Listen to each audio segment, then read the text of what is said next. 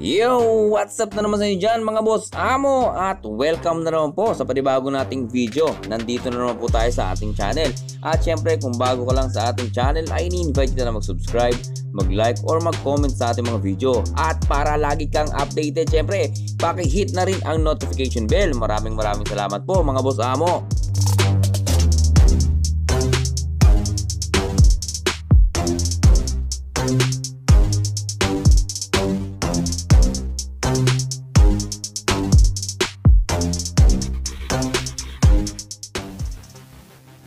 At syempre mga bossing, bago tayo magsimula, gusto ko munang batiin at i-shoutout ang ating mga kaibigan. Unang-una na dyan, syempre si Kingdom Moto. Maraming maraming salamat sa iyo, boss, sa iyong pa patuloy na panonood at pagsuporta sa ating channel. At nandyan din ang ating kaibigan na si M Mototech Channel. Maraming maraming salamat sa iyo, boss Amo. God bless and ride safe. At sa lahat po na mga gusto magpa-shoutout, just comment down below at siguradong babasahin ko yan. At ang pag-uusapan nga natin ngayon mga boss amo, kung nakikita nyo, hindi po yan Z1000. Ito po ay gawa ng isang China brand na walang iba kundi ang Jiaju. Ayan mga boss na may pangalang model na N19 400 na kung saan ito ay 400cc. Kaya kalookalike niya lang talaga si Z1000 pero hindi siya kaparehas ng specs ni Z1000. So yan ang pag-uusapan natin ngayon. Konting uh, background lang uh, mula sa Jiaju mga boss amo. Ah. Ang Jiaju ay isa sa pinakamalaking uh, manufacturing company sa China at hindi na siya baguhan pagdating sa paggawa ng mga motorcycle at scooters.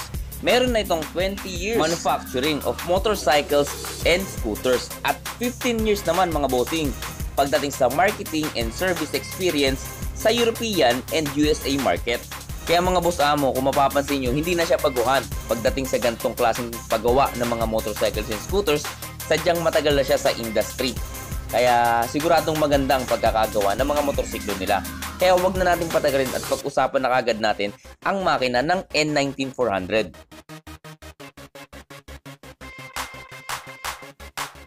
Ang N19400 mga bossing ay may model engine na VSK 400 na merong 4-stroke, liquid cooled na rin yan mga boss at merong bore by stroke na 63.5 mm by 58 mm. Pagdating naman mga boss, sa compression ratio nito ay meron tong 10.5 to 1 at kaya mag-produce ng maximum power of 20.6 kW at 8,300 RPM at max torque naman na 28 Nm at 6,000 RPM.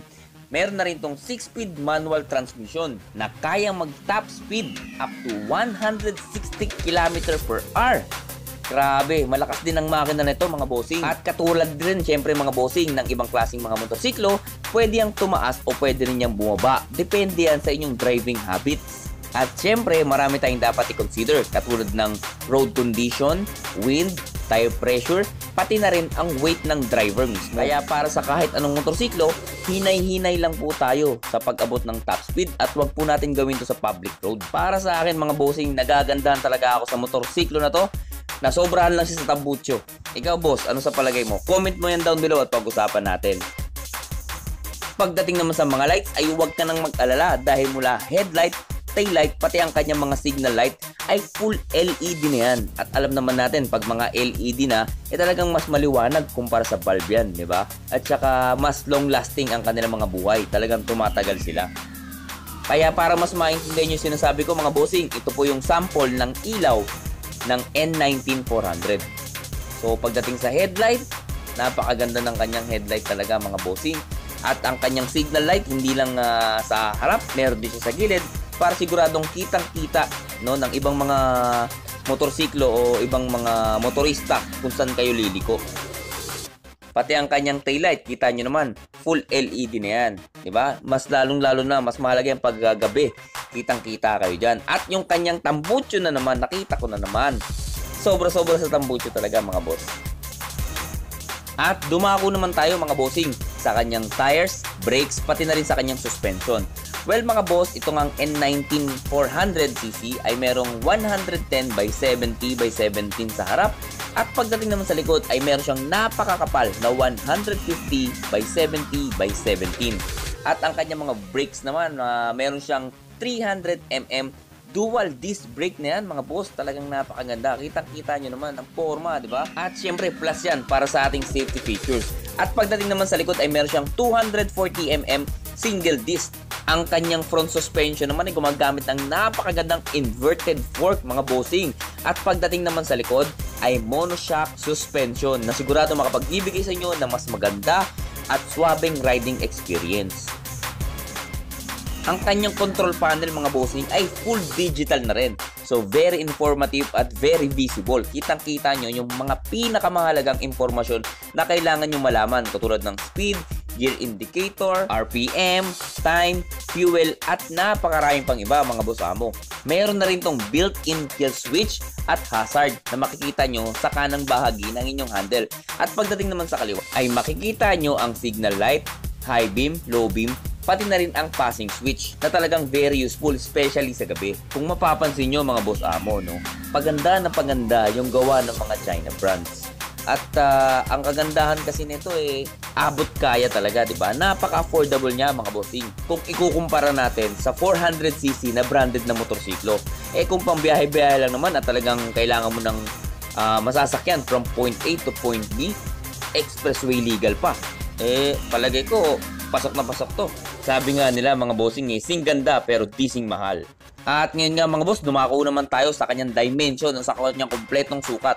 Meron nga itong length by width by height na 2090 mm by 820 mm by 1045 mm. At may wheelbase naman ito mga bossing na 1430 mm.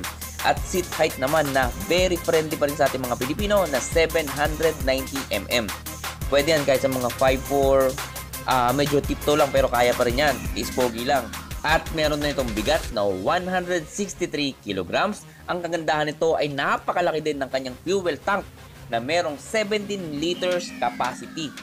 Sadyang ready ready pang long ride, pang short ride, kahit pang daily use. Pwede to mga bossing. Ikaw bossing, posible ba na bumili ka ng ganong klaseng motorsiklo kahit China kapag ito ay dumating sa ating bansa? I-comment mo yan down below at pag-usapan natin mga boss amo. At sa ngayon nga, ito pa lang yung mga impormasyon na nalalaman natin tungkol sa N19400. At syempre, kung bago ka lang sa ating channel, ay ini-invite kita na mag-subscribe, mag-like at mag-comment sa ating mga video. At syempre, kung umabot ka hanggang sa dulo ng video na to, ay maraming maraming salamat sa iyo. At para naman sa mga yung mga shoutout, just comment down below at siguradong babasahin ko rin yan. Muli, this is Toy and you are watching Amamoto Vlog. God bless, ride safe, keep safe, bye!